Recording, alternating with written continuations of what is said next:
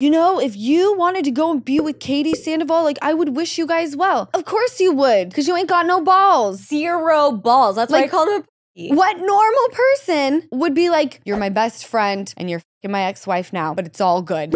No! Nobody. Nobody.